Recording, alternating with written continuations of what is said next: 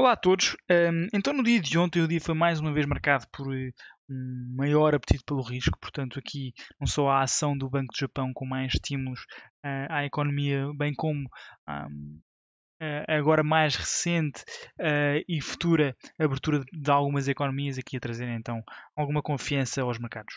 E, e pronto, e com, com, e com, base nisso, aquilo que podemos observar foi então as principais bolsas acionistas a subirem, a valorizarem uh, por volta dos 1 a 2%, tanto na Europa como nos Estados Unidos. Também as, as yields acabaram por ter aqui um afastamento, portanto, aqui uh, um afastamento por parte dos investidores, dos investidores, portanto, existe uma menor procura por este, por este mercado e com base nisso, como consequência disso, vimos então as yields a, a subirem.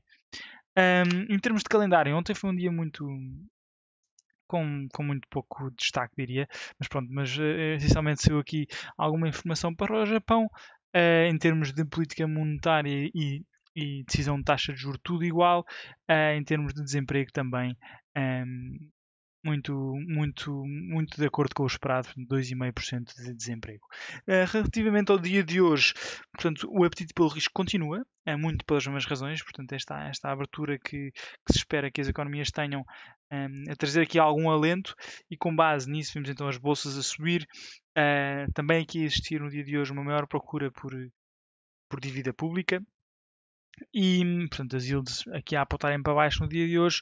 E depois vemos também o crudo a cair e o ouro, uh, no entanto, sem aqui uma tendência de muito bem definida. Um, em termos de calendário, temos um, Consumer Confidence para os Estados Unidos. Eu daria destaque a isto a sair às duas, às duas da tarde. No entanto, um, mais uma vez nestes dias é, é um bocado complicado perceber até que ponto é que estes indicadores têm de facto muito, muito muito impacto no mercado, no entanto, é aquilo que temos para o dia de hoje. Depois, em termos de par euro-dólar, aquilo que é possível observar, bem, não time frame monthly, como já aqui vimos várias vezes já esta, esta tendência de baixa a acontecer de uma forma muito clara. E pronto, e agora aqui, uh, relativamente ao dia de ontem um, e de hoje, vemos então o euro a valorizar uh, quando comparado com o dólar. Isto muito por consequência do apetite pelo risco, o dólar está a cair, Uh, e isto faz então com que o euro, quando comparado com o dólar, ganhe então um, ehm, algum valor. É por isso vemos aqui esta, este comportamento nestas últimas um, ehm, candles. E, e, pronto, isto aqui no fundo acaba por ser o dia de ontem e isto o dia de hoje com uma subida muito abrupta. Portanto, se formos olhar para o dólar index, aquilo que podemos observar é o dólar americano a derreter um, ehm, de uma maneira muito, muito abrupta no dia de hoje. Depois, no que toca a índices, no Stock 50, aquilo que observamos é então, portanto, no dia de ontem, a, a tal subida de um, por volta de 1,5%, e no dia de hoje uma subida ainda mais íngreme. No entanto, de destacar, uh, isto acaba por ser também comum nos Estados Unidos, é uma zona de, de resistência aqui, uh, de certa forma, forte. Eu diria que um, podemos ver então agora alguma resistência a acontecer no dia de hoje. No dia de hoje, ou a partir de agora, veremos se de facto poderá acontecer. Uh, aliás, já está aqui a, oferecer alguma resistência. Vamos ver se, se é de facto suficiente para impedir um, mais algumas subidas. Uh, mais uma vez, também aqui uma resistência, uma resistência muito clara, também aqui um, no, isto no Dow Jones e nos outros é ainda mais claro. Se formos então olhar para o S&P, o S&P 500, Uh, então, mais uma vez, aqui foi completamente rejeitada esta tendência de baixa, este suporte, que era na altura suporte, agora resistência. Uh, e depois podemos ver também que, que, no fundo aconteceu várias vezes, ou no, no, passado também. Portanto, é uma forte zona de, de resistência em que estamos neste momento. E, e aqui também se de uma maneira muito clara. Então, então no, no Nasdaq acho que é ainda mais, mais claro, uh, como, podemos, como podemos aqui ver. Eu daria destaque também é impressionante uh, a subida que temos vindo a ter nos últimos, nos últimos dias, nos últimos, no último mês, vá. E no fundo estamos numa, numa crise muito severa uh, e já recuperamos 75, pá, eu diria 75% desde o início destas quedas. Um, eu acho que não faz isto aqui do ponto de vista fundamental e económico não faz sentido. O desemprego está nos Estados Unidos está 20 vezes pior e as bolsas estão só 25%.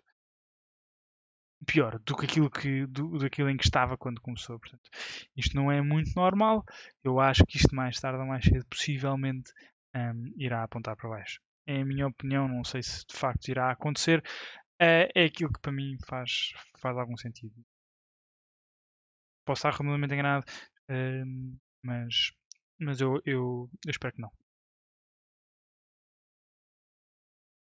Bem, relativamente aqui à uh, libra esterlina, aquilo que nós uh, temos vindo aqui a analisar era aqui a possibilidade de uma criação de um, de um head shoulders, como podemos aqui ver. Depois também, quando vemos aqui um, um padrão de um W, muitas vezes vimos a, voltamos aqui a testar a neckline, portanto, daí apontar para, para esta zona como uma possível zona de, de quebra, uh, ou para o qual o, o, o par poderia ir, Uh, no entanto, esta perca de valor do dólar tem vindo aqui, no fundo, a, a, impedir que isto, que, que, de facto, esta, esta, esta possível, um, este, este, possível investimento de, facto, de facto se tornasse um, desta forma. Portanto, aquilo que nós vimos, vimos aqui, vimos aqui ou, ou podemos observar, é, então, uma quebra desta, desta resistência.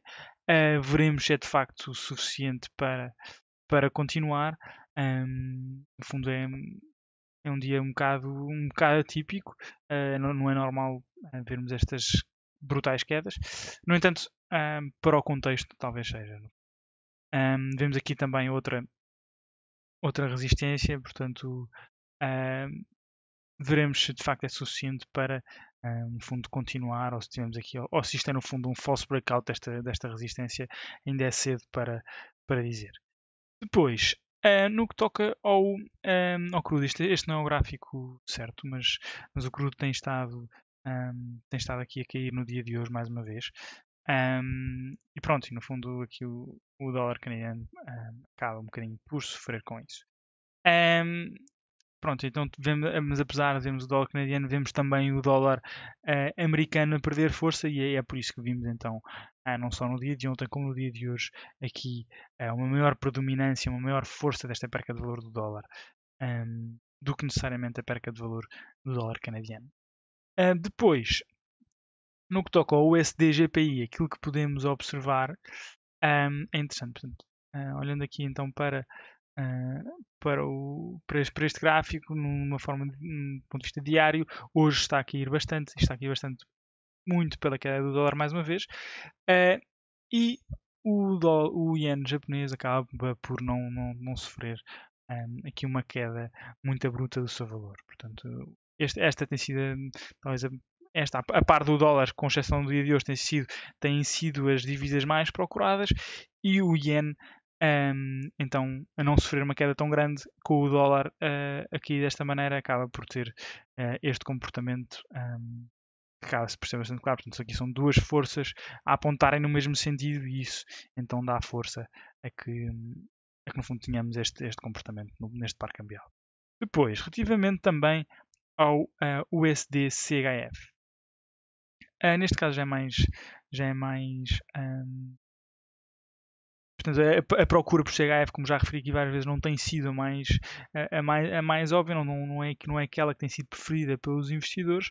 Pronto, e com, e com base nisso, aquilo que, um, que vemos é, apesar da queda que temos visto do dólar, é uma, uma valorização do, do, do, do dólar quando comparado com, com o franco suíço. Portanto, uh, é muito claro isto, isto aqui nesta tendência de alta, como podemos aqui ver. Um, portanto, veremos se de facto isto, isto poderá, poderá voltar aqui. Seguir, desculpa lá.